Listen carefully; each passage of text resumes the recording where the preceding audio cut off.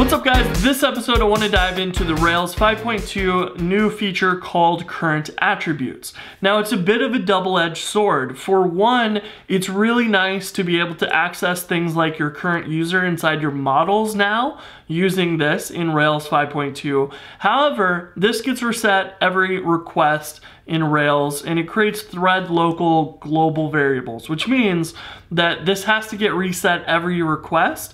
Otherwise, you might have the wrong user in your current variable and that would be bad. And things like your background jobs are gonna have to be very cautious about using this. And I would probably encourage you not to use this in background jobs so you don't ever access the wrong user or the wrong attributes in your current class. So this can be good and it can be bad and that's why I wanted to talk about this advanced example in this episode because everybody's talking about it's either terrible or here's how to use it in, in trivial ways.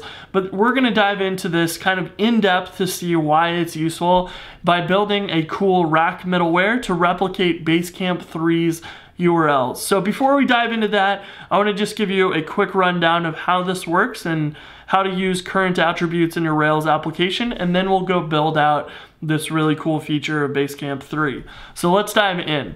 So current is going to be a new class you will add to your app models folder. You'll just call it current.rb and you'll create a class here called current that inherits from active support current attributes and you will just define your attributes here um, and you can say attribute user. And once you've defined your attributes like this, you'll be able to set them anywhere in your application um, by doing something like this. Current.user equals at user. So in your registration, in your login, you can have that assign the current user. And then you can do other things like set your account or your request IP address or your user agent, which you might want to use in various parts of your application.